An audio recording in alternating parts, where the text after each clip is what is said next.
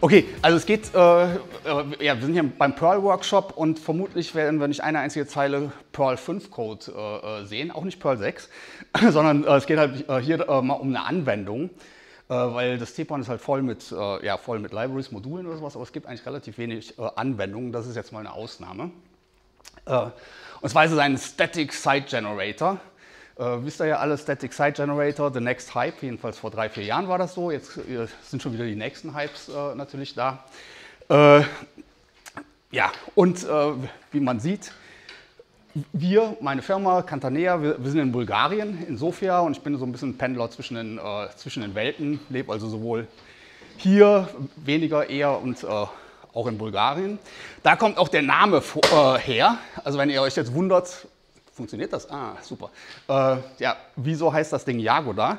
Das äh, kommt einfach daher, äh, es gab früher ein Charset, das hieß KOI, nee, es gibt es noch immer, KOI 8-R. Äh, und das war einfach so, dass die kyrillischen Zeichen da in den, äh, in den 8-Bit-Bereich so gemappt waren, dass wenn man das 8. Bit weggestrichen hat, dann äh, ist praktisch die lateinische Trans, Transkription übrig geblieben. Und da lag das Q, nee, das, das Ja das ist nämlich, für euch ist das ein R, ein umgedrehtes, aber in Wirklichkeit ist es natürlich ein Ja. Das lag auf dem Q und äh, auch für Russen, Bulgaren sieht das halt äh, eher aus wie ein, äh, ja, wie ein Q als wie ein R, weil es kein R gibt auf, äh, im kyrillischen Alphabet. Aber so wird es ausgesprochen. Und das Ganze heißt Erdbeere. Und äh, äh, eigentlich in allen slawischen Sprachen, egal ob das Bulgarisch ist oder Russisch oder Serbisch, ist es überall Erdbeere. Gut, wie bin ich dazu gekommen? Ich habe vor ein paar Jahren äh, angefangen, meine Homepage und noch ein paar andere Webseiten neu zu machen und äh, hatte da das Problem, brauchte ein CMS.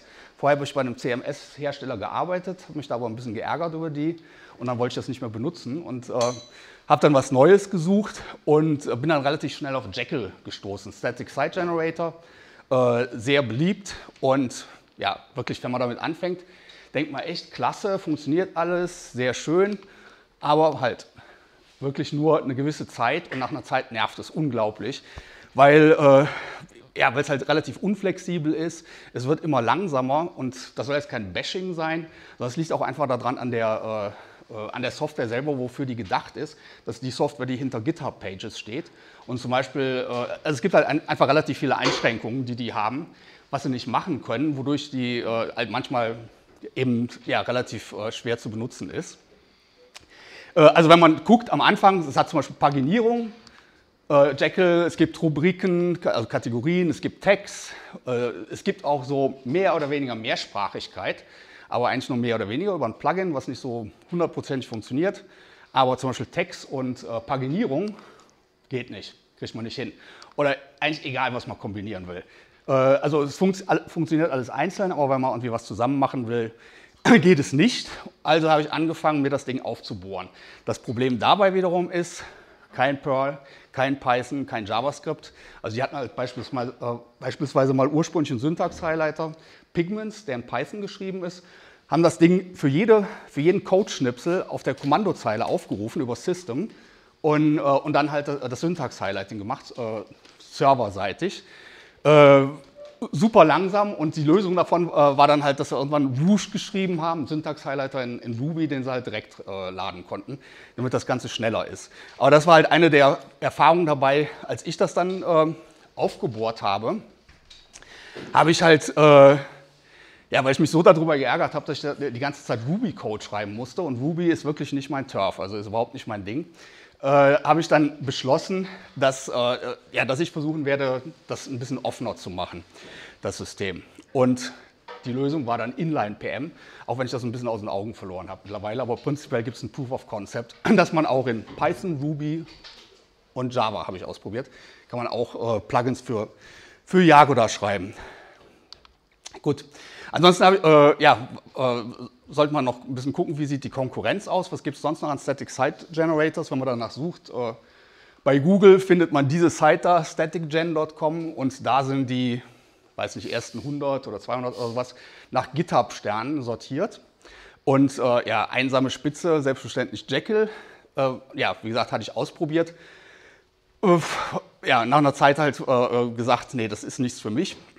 Hugo habe ich mir auch angeguckt unwahrscheinlich schnell, aber Problem, es ist, äh, äh, ja, nee, es heißt heute opinionated, aber in Wirklichkeit ist es halt unflexibel.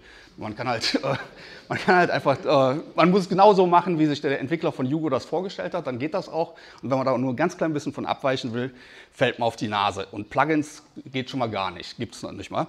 Und das hier, äh, ja, kenne ich ehrlich gesagt gar nicht, aber das kommt aus der JavaScript-Welt. Also da ist es natürlich 23.000 GitHub-Stars ist nichts.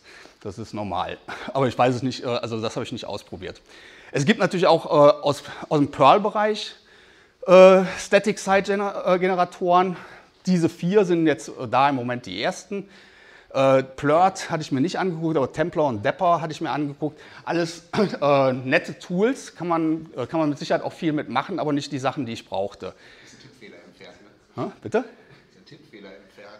Ja, ich weiß, ihr habt hier irgendwie die. der Dom heißt nämlich Bernd davon. Ja, ja, ich weiß, ich weiß, das ist irgendwie gesponsert, ne, aber äh, muss, man, muss man ihm dann sagen, dass er das, äh, ja, dass er das äh, äh neu macht. Äh, ja, und die, die, sind auch alle, glaube ich, schon einen Tacken älter, die, äh, die Tools. Gut, also habe ich mich hingesetzt, Jagoda angefangen zu schreiben. Und äh, ehrlich gesagt, die erste Version, die war innerhalb von sechs Stunden fertig, weil äh, so furchtbar kompliziert ist das nicht, was man für einen Static Site Generator braucht. Man, es ist halt mehr oder weniger ein aufgeblähtes Bin-CP. Viel mehr macht das Ding nicht. Einfach Dateien durch die Gegend kopieren und vielleicht noch ein bisschen äh, weiterverarbeiten. Äh, klar, ich wollte es in Perl schreiben, weil es halt, äh, also in, meiner, äh, in meinem Job muss ich mittlerweile Java programmieren, muss ich. Aber zu Hause will ich mir das nicht antun, also deswegen ist es halt in Perl. Äh, auf, aber auf der anderen Seite habe ich halt auch einen relativ starken Background hier. Böses Wort, Node.js. Äh, also weil, weil ich halt relativ viel Web-Development mache und dann eigentlich auch, äh, also ich, ich mag den Ansatz nicht, Beispielsweise, wir hatten letztens eine, äh, eine, Applikation, das war mit Rails, ich weiß nicht, ob ihr das kennt, Groovy on Rails. Und da ist halt äh, irgendwie, wird mit Macht alles versucht mit Java zu machen. Also selbst noch, also irgendwie so Agilify.js, SAS und sowas, ist alles mit, äh, mit Java implementiert. Da gibt es dann so ein Plugin, das heißt Asset Pipeline. Und das ist, sagen wir mal, es funktioniert nicht so richtig das Ding. Und äh, ich wollte halt einfach nicht Leute, die das benutzen wollen, dazu zwingen, äh, das genau so zu machen, wie ich mir das vorstelle. Also man muss auch nicht Node benutzen, aber ich wollte zum Beispiel die Möglichkeit haben, Node.js äh, zu integrieren. Weil, wenn ich Node.js habe, habe ich halt, also weil Grunt, die Älteren unter euch kennen das vielleicht noch, das war mal so ein Bildtool für JavaScript, ne? aber ansonsten klar, heute benutzt man halt Webpack, zwischendurch gab es halt mal Gulp, Browser Refy, Browser Sync und solche Sachen. Und die wollte ich halt alle äh, ja, ich wollte halt äh, die Möglichkeit haben, die zu integrieren. Gut, jetzt haben wir die ganze Zeit über äh, äh, eher schon das Advanced Static Site äh, äh, Generators. Wie funktionieren die überhaupt? Also ich habe ja schon gesagt, mehr oder weniger kopiert man einfach nur Dateien durch die Gegend. Und zwar, ja, was man halt macht, alles, was irgendwie da rumliegt in einem Verzeichnis, wird ins Document Root reinkopiert und das heißt äh, bei Jekyll, bei Jagoda auch und bei etlichen anderen äh, Static Site Generators auch, heißt es halt Unterstrich Site, das ist ein Verzeichnis. Alles, was mit einem Unterstrich anfängt, im Top-Level-Verzeichnis, wird ignoriert. Das ist also praktisch äh, Konvention, dass man äh, äh, bestimmte Sachen äh, ja, einfach ausschließen kann. Und die interessanten Sachen sind normalerweise Markdown-Dateien, das sind diese hier. Die, die müssen nicht Markdown sein. Das Entscheidende eigentlich ist, dass sie sogenannte Front Matter haben. Das heißt, das ist ein bisschen YAML, was äh, im Kopf der Datei drin steht, wo man, ähm, wo man Properties des Dokumentes setzen kann. Und äh, ja, man kann da äh, prinzipiell reinschreiben, was man will. Äh, es gibt aber ein paar Konventionen, die sowohl für Jekyll als auch für Jagoda gelten. Und diese Dateien werden halt nicht einfach nur kopiert, sondern sie werden halt erstmal durch, äh, das ist konfigurierbar, aber man sollte sich im Moment noch daran halten, durch Template Toolkit gejagt. Äh, da kann man also Template-Syntax äh, ähm, äh, expandieren. Und danach ist halt noch ein Markdown-Prozessor, wo man im Moment die Wahl hat zwischen Text-Markdown, heißt das, glaube ich. Das ist die Pure Perl-Version, die so ein paar Schwächen hat, etwas langsam ist und das andere ist Who-Down. Ich weiß nicht, ob, äh, also ist halt einfach schneller und in C geschrieben und ein bisschen mächtiger unterstützt halt beispielsweise GitHub-Syntax und solche Sachen, äh, Fenced Code Blocks, sagt euch das was? Also Back, äh, äh, Backtick, Backtick, Backtick und dann die Sprache und so weiter. Gut. Halt. Jetzt, äh, in medias res. Jetzt wollen wir uns das mal angucken, wie das Ganze funktioniert. Jetzt muss ich jetzt muss ich die Brille aufsetzen und... Wir auch. Sehr gut. Äh, sagt mal Stopp da hinten in der letzten Reihe. Okay, gut. Genau, gleich müssen wir vorne anfangen, so zu lesen. Ja. So, okay. Äh, falsches Verzeichnis. Im Moment leer. Jetzt machen wir hier ein Verzeichnis Mini rein und gucken uns das mal einfach an. Wenn wir hier ein bisschen Markdown schreiben, äh, was machen wir da? Hello World. Also ein zweites Tab auf. Jagoda, wenn man das startet, äh, kommt erstmal wie, ja, das, was äh, ein gutes Kommandozeilen-Tool machen sollte, nämlich nichts. Äh, es sagt halt einfach, was, was es so gibt. Äh, Jagoda minus minus help, gucken wir uns mal an. Da sieht man, so wie man das heute relativ häufig gewohnt ist, von Git und so weiter, äh, äh, Executable, äh, globale Optionen, Kommando, lokale Optionen. So ist das hier auch. Und äh, Build und Watch, das sind die, die wichtigsten. Äh, die machen mehr oder weniger dasselbe. Build äh, baut die Site einmal, Watch baut sie kontinuierlich neu, sobald sich irgendwas ändert. Also das ist das Kommando, was wir jetzt ups, brauchen. Schauen wir uns mal an. Und jetzt sieht man hier, aha, Plugins gibt es auch. Äh, am Anfang gab es ganz viele, die habe ich aber nach und nach eigentlich alle integriert in, äh, in die Software, weil, weil ich fand, dass man die sowieso fast immer braucht. Äh, ja, hier startet die Site zu bauen und dann man sieht rattenschnell, das eine Dokument hat er dann in was weiß ich wie vielen Millisekunden gemacht und äh, ja, eine Datei wurde geändert. Jetzt wollen wir uns natürlich noch angucken, was da geändert ist. Machen wir mal. Jetzt seht ihr die einzige Software von Microsoft, die ich benutze. Diese. Ähm, eben. Jetzt habe ich. Ah. Sorry.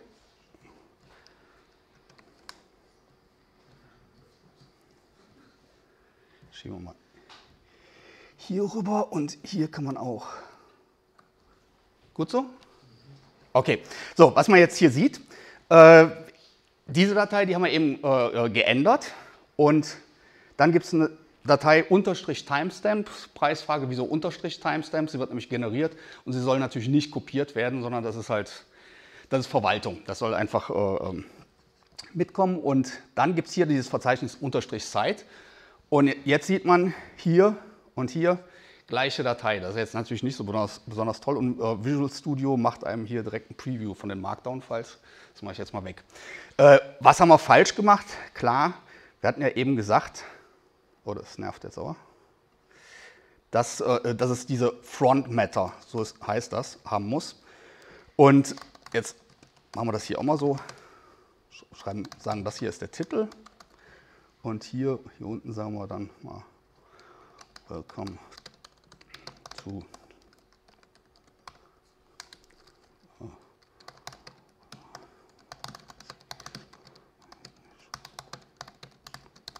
So, okay, jetzt haben wir ein richtiges Dokument, also mit ein bisschen Markdown.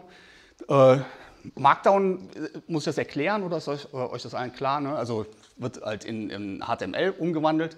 Und, ai, und jetzt äh, gucken wir mal, was jetzt generiert worden ist gar nichts, das Ding ist leer. So, dann muss man ab und zu mal halt gucken, was ist denn passiert. Aha, böser Fehler. Hier fehlt was. Und zwar eine, äh, ja, das Template fehlt. Auch klar, also wir haben halt bis jetzt nur, eine, äh, nur Content gemacht, nur eine Datei, aber noch nichts zum Rendern. Das holen wir jetzt nach. Wenn man hier guckt, ach Quatsch, man hier guckt, diese Datei fehlt, unterstrich Views, Default HTML. Also machen wir das jetzt mal hier schnell. Ich weiß nicht, wie man in uh, Visual Studio Code eine Datei anlegt, deswegen mache ich es hier. Use. So geht's. Okay, so jetzt haben wir hier ein Template und das ist furchtbar. Hoppla. Erstmal hier.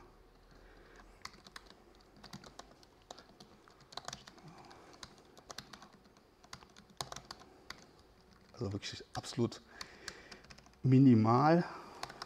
Ups.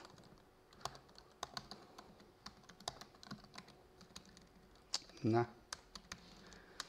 Wenn ich alleine bin, kann ich besser tippen. So. Okay.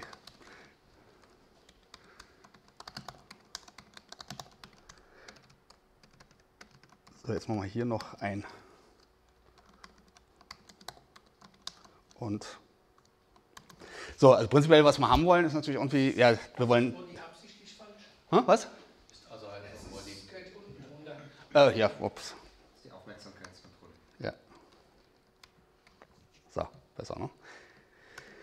Äh, okay, also das ist das Gerüst und jetzt, äh, also das muss ich jetzt euch wahrscheinlich nicht groß erklären, Template Toolkit kennen wahrscheinlich auch die meisten. Jetzt muss man halt noch zusehen, dass hier auch der Content noch reinkommt und das geht so und ja, muss jetzt auch nicht groß erklären, glaube ich. Und normalerweise sollte man hier das Ganze durch HTML durchpipen, weil ansonsten hat das den Effekt, wenn man äh, äh, Markup zufällig im Content drin hat, dann äh, wird es halt zerschossen. So, und das hier, das gleiche, würden wir hier unten auch noch hinstellen. Ups, das ist zu viel.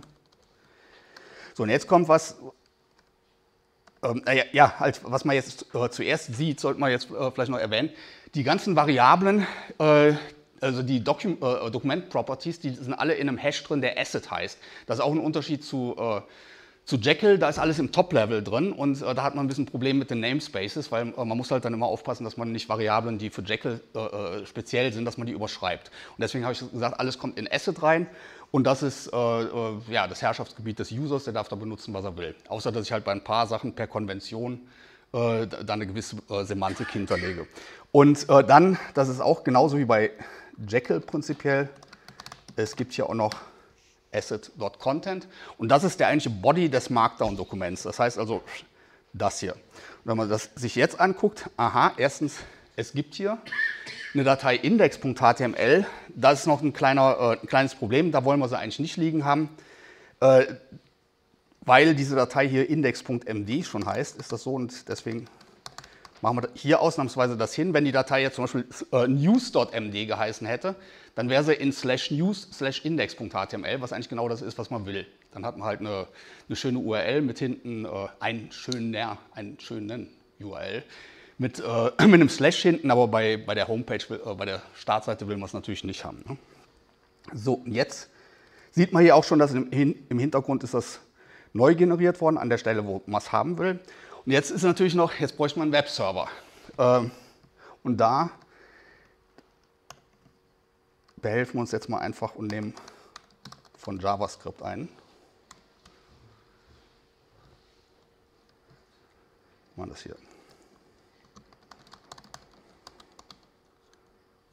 Nee, halt. Äh, das falsche äh, Document Root, aber man sieht, es funktioniert. Äh, und so einfach ist es. Und das ist das Grundprinzip eines Static Site Generators und die arbeiten eigentlich alle genauso. Und äh, also man wird es jetzt vielleicht bemerkt haben, Datenbank gibt es nicht. Irgendwie äh, Dynamik im Webserver gibt es nicht, braucht man alles nicht, existiert alles nicht. Und äh, äh, also alles rein statisch. Äh, gut, gucken wir uns noch genauer an, was hier passiert. Äh, hier habe ich jetzt versucht mal darzustellen, es ist halt nicht äh, ganz so einfach, wie das jetzt aussah, dass man einfach ein bisschen Markdown, ein bisschen Template-Toolkit hat und dann kommt eine HTML-Seite raus. Was in Wirklichkeit passiert ist, hier habe ich Markdown mit meinem Front-Matter, ein Body.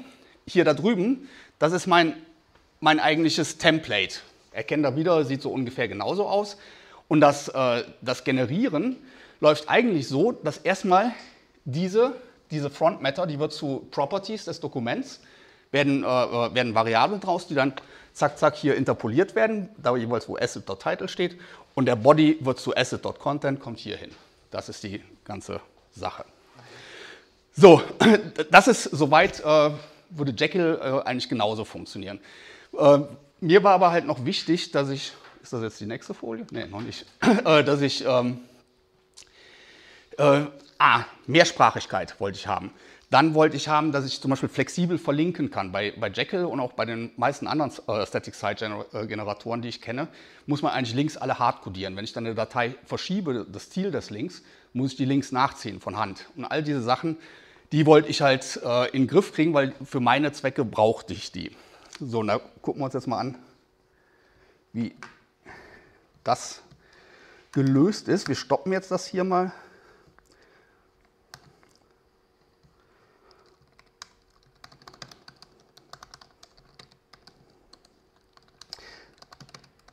Es gibt ein Kommando noch, das heißt Jagoda init. Gucken wir uns auch noch mal kurz an.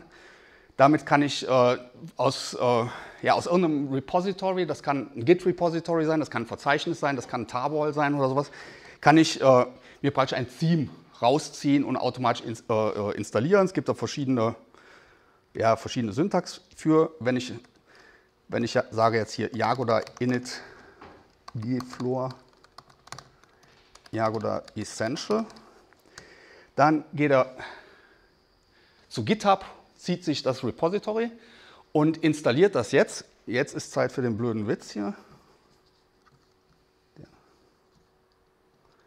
Also Webdeveloper kennen das. 15% der Bandbreite im Internet ist von Netflix, der Rest von NPM. Mal gucken, sind wir fertig? Ja, so, in der Zwischenzeit äh, ist das fertig, weil hier ist jetzt nicht so irrsinnig viel äh, äh runtergeladen worden. Und jetzt äh, sieht man hier eine Warnung. Hier steht, dieses externe Kommando, npm run server, wird äh, äh, gestartet werden. Das ist in der, in der Definition des Teams steht drin, dass das ein Helper ist. Denn was ich mir überlegt hatte, war, äh, äh, der nächste Schritt wäre jetzt gewesen, nach diesen sechs Stunden einen Webserver zum Beispiel einzubauen in die Software. Und dann habe ich gesagt, wieso? Weil mein JavaScript-Webserver, der funktioniert doch wunderbar. Oder wieso soll ich überhaupt jemanden äh, dazu zwingen, meinen Webserver zu benutzen? Es gibt auch für Perl genug äh, äh, Webserver und ich kann auch einen Nginx nehmen. Also habe ich gesagt, man kann halt einfach beliebige Tools noch parallel starten. Die werden alle mitgestartet von Jagoda und da kann man machen, was man will. Sich sein eigenes Build-Tool verwenden, seinen eigenen Webserver und diese äh, äh, fertigen Themes zeigen einem halt ein paar Beispiele, wie man es machen kann. Wenn wir jetzt hier das nochmal starten, sieht man und aha. So, und das ist halt dann einfach, äh, weiß nicht, ob äh, geht das mit Perl überhaupt? Keine Ahnung, aber auf jeden Fall das Ding, das startet einem den Webserver direkt. Das Ganze ist mit dem WebSocket äh, verbunden. Das heißt, wenn ich jetzt äh, hier, dafür muss ich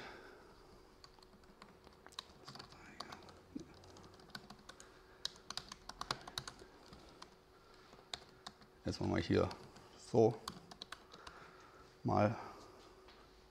Ja, ne, also ich äh, speichere im Editor ab, die, Web, äh, die Site wird direkt äh, und so weiter und so weiter. Und das ist halt so, so der Workflow, den ich gewöhnt bin bei Web Development und deswegen habe ich halt gesagt, das werde ich nicht nachprogrammieren. Das gibt es in JavaScript, die machen das viel schöner. Das, äh, das muss ich nicht selber machen. Gut. So, jetzt sieht man hier schon, äh, hier beispielsweise, es gibt ein Listing und das ist äh, ja zum Beispiel auch wieder in Jekyll kann man genau ein Listing machen, nämlich über die ganze Zeit. Man kann also sämtliche Blog-Einträge kann man, äh, kann man irgendwie auflisten. Das kann man auch irgendwie paginieren, aber wirklich es gibt nichts äh, äh, zu kombinieren. Und wie, wie das bei mir gemacht ist, lass mal gerade gucken. Starten hier nochmal den Editor.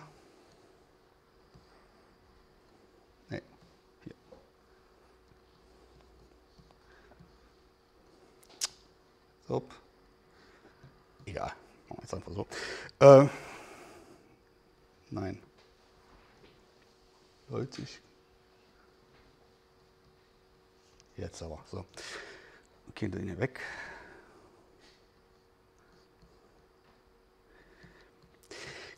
Gucken wir uns jetzt nur ganz äh, grob an, weil so viel Zeit haben wir nicht. Hier gibt äh, also was man hier zum Beispiel jetzt sieht, es gibt noch immer dieses Default.html, das ist ein Template. Jetzt wird man sich wundern, wieso äh, mache ich den Body vor dem Head? Das hat einen ganz einfachen Grund. Wenn man den Body vor dem Head äh, äh generiert, dann kann man im Body Variablen für den Head setzen. Also der Klassiker ist der Title. Aber beispielsweise, ich kann zum Beispiel, wenn ich irgendwie ein Karussell oder eine Galerie oder sowas in meinem Body benutzen will, kann ich sagen, so, und jetzt machen wir noch Style, äh, äh das CSS dafür da rein. Deswegen mache ich das halt immer so rum und gebe sie dann in umgekehrter Reihenfolge aus. Und ansonsten ist das Ganze jetzt halt einfach modularisiert, in, ja, wie man das halt so normalerweise machen würde, damit das Ganze ein bisschen wiederverwendbar wird. Äh, hier ist das Listing und was, was es jetzt hier äh, äh, wie, wie, das äh, Ganze funktioniert. Es, es, gibt ein Plugin, das heißt Jagoda. Ein, äh, das ist ein Plugin für Template Toolkit.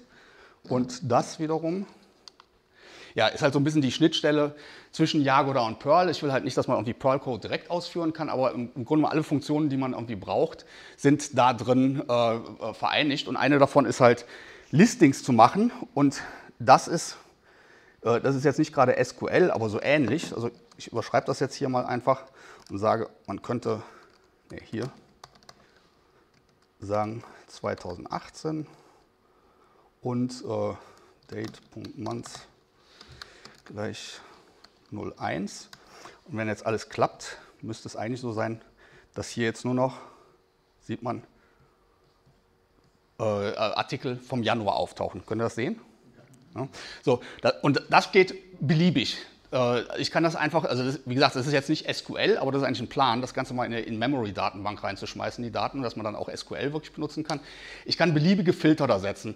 Und das heißt, ich kann die, die Website praktisch äh, beliebig äh, partitionieren. Also wenn man sich das mal anguckt, ich könnte halt sagen, das, ist, das sind meine sämtlichen Dokumente, das sind die englischen Dokumente, das sind die, wo das äh, Property Tags das Wort Jagoda enthält. Und dann kann ich sagen, und das sind sie. Und das ist ein Listing und ein Link ist einfach nur äh, also genau die gleiche Funktionalität mit dem Unterschied, dass ich genau ein Dokument am Ende rauskommen, äh, dass genau ein Dokument rauskommen soll. Und das gibt es natürlich auch, äh, funktioniert aber exakt genauso. Was, äh, ja, was dann, äh, also was man vielleicht noch kurz erwähnen sollte, also Archive Tags, Taglisten, Related Documents, funktioniert alles exakt genauso. Ich sage halt einfach bei den Archiven zum Beispiel, äh, wie man jetzt eben hier gesehen hat, gibt mir exakt die Dokumente von 2017 Juni oder sowas und dann habe ich das, äh, äh, die, das Listing genau für diese Dokumente. Paginierung ist ein bisschen äh, komplizierter, weil bei Paginierung habe ich natürlich das Problem, ich weiß nicht, wie viele Dokumente äh, ich brauche. Ich brauche halt Seite 1, Seite 2, Seite 3 und so weiter. Was ich mir äh, dafür ausgedacht hatte, war, ich nehme ein Dokument und da kann ich so eine Art Zellteilung machen mit. Das heißt, der, das Ding kann sich klonen, aber ich injiziere dem Clone einfach ein bisschen DNA noch und kann dann diese Informationen, also hier Title und Location, hier steht im Moment Hello und slash Index HTML und dann überschreibe ich die. Und Location sollte man natürlich immer überschreiben, damit, das, äh, äh damit der Clone halt irgendwo anders liegt. Und und dann muss ich nur noch sowas machen. Wenn ich die Paginierung machen will, egal über welche äh, äh, Collections, ich fange an mit zum Beispiel Start 0. Das heißt also, ich äh, fange bei Dokument Nummer 0 an. Äh, für den Clone sage ich, geh 10 weiter. Ähm, mach Location nicht auf slash index HTML beispielsweise, sondern, sondern slash index minus irgendwas.html und das Ganze halt nur, solange noch weitere Dokumente folgen. Und schon habe ich meine Paginierung. Wenn ich das jetzt hier... Filters ist eine Variable, die heißt deswegen so, weil die Archive, die Taglisten und so weiter alle genau das gleiche benutzen, nur die übergeben Parameter mit den Filtern. Und dadurch ist, äh, ist das gleiche äh, Modul für das Listing und für die Paginierung, was so aussieht, hier überall zu verwenden. Das ja, das sind die Listings. Und dann, äh, ja, hatte ich ja versprochen, Mehrsprachigkeit. Das war halt für mich besonders wichtig. Dafür müssen wir jetzt nochmal alles hier stoppen. Ich weiß, acht Minuten noch. Äh, ne, wir machen das jetzt einfach so.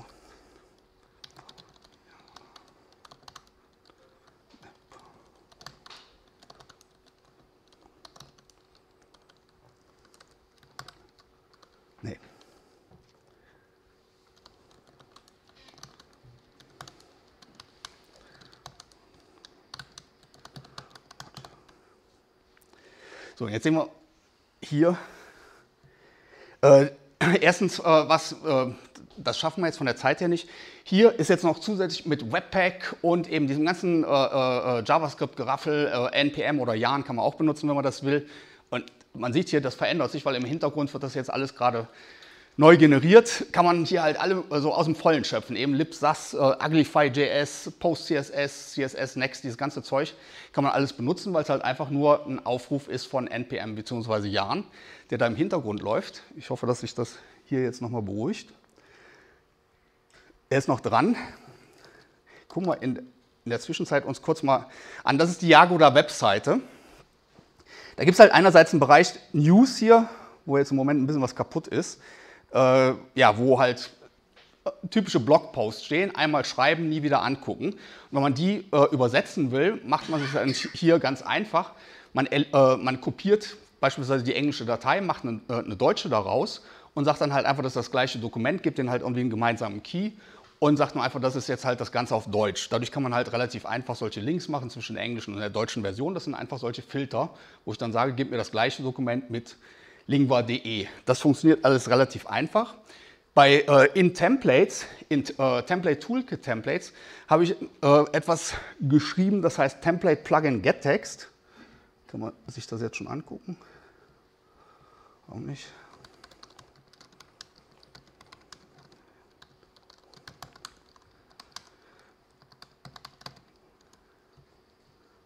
Jetzt.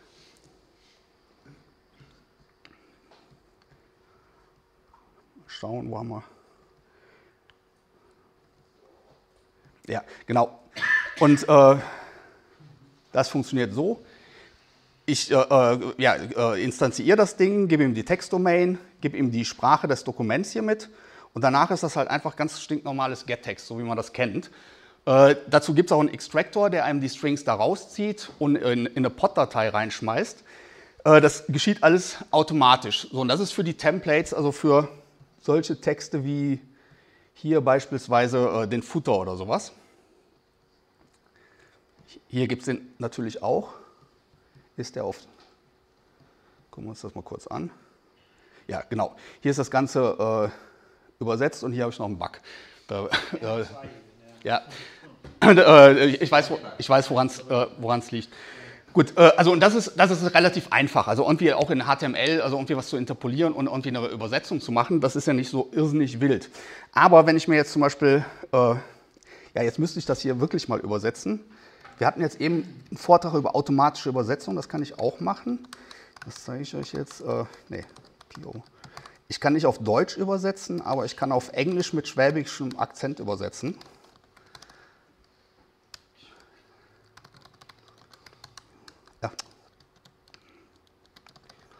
So, und jetzt ist in Jagoda eingebaut äh, alle möglichen PO-Kommandos, um das Ganze hier zu pflegen.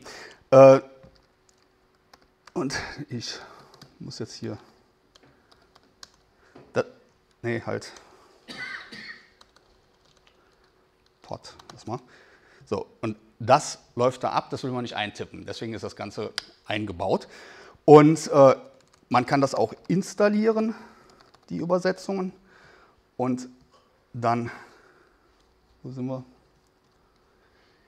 Das muss ich jetzt nochmal neu starten, weil äh, die, äh, die Übersetzungen werden gecached. Das kriegt er nicht mit. So, und jetzt müsste das Ganze, ja, ist das Ganze auf, auf Englisch mit schwäbischem Akzent übersetzt. Und äh, wie ist das gemacht? Gucken wir uns die irgendeine x-beliebige deutsche Datei mal an. Äh, beispielsweise diese hier. Und hier steht halt nichts anderes drin als, äh, ich bin leer und hier, da ist der eigentliche Content drin. Und was Jagoda jetzt macht, ist hier draus äh, aus dem eigentlichen äh, Dokument, ich bin, ich bin in der Zeit, ich schaff's noch, äh, alle Informationen, wo sind wir hier, rauszuziehen. Das heißt also hier Front Matter und auch den Body äh, äh, zu extrahieren. Was passiert ist einfach nur, dass der eigentliche Content genommen wird, wird in, äh, in Abschnitte zerhackt und dann kommt sowas hierbei raus.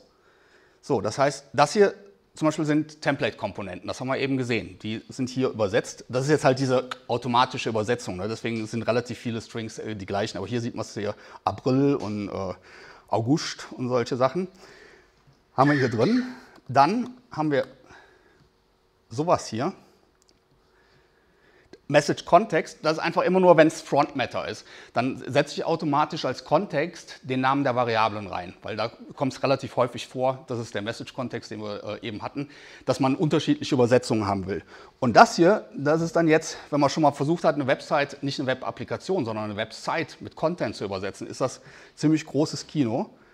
Die Nummer hier, ich habe halt hier wirklich die englischen Strings in relativ kleinen Portionen und hier deutsche Übersetzung. Und das heißt, die, die Übersetzung der Site kommt komplett aus den PO-Dateien. Das heißt, ich kann einfach eine PO-Datei an eine Übersetzungsagentur geben, die können damit umgehen, können die mir übersetzen und ich habe meine ganze Site übersetzt. Ich brauche denen keinen Markdown zu erklären, naja, so ein bisschen, äh, und kein HTML zu geben. Das Ganze ist halt in, Standard, äh, in einem Standardformat.